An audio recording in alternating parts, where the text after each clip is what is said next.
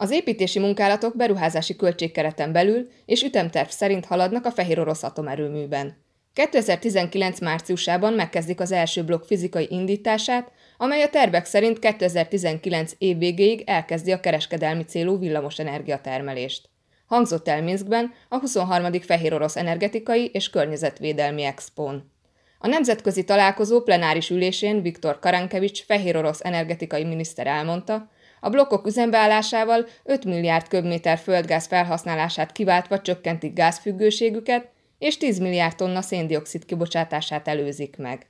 Azt is kiemelte, hogy az atomenergia alkalmazása lehetővé teszi országuk versenyképessé tételét.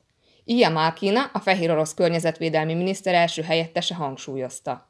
A fenntartható fejlődés érdekében elengedhetetlenül fontos a széndiokszid kibocsátás mérséklése, így országuk támogatja az atomenergiát és a megújuló energiaforrásokat.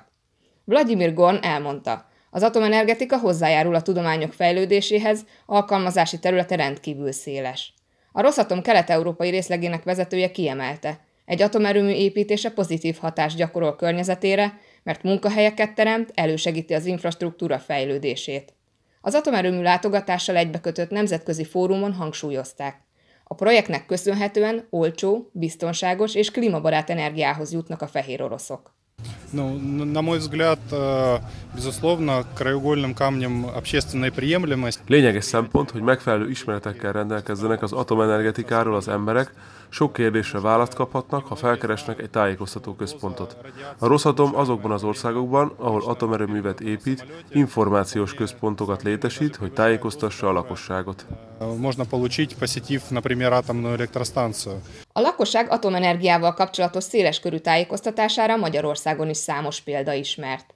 A Paksi Atomerőmű látogatóközpontja 1995. szeptembere óta fogadja a látogatókat.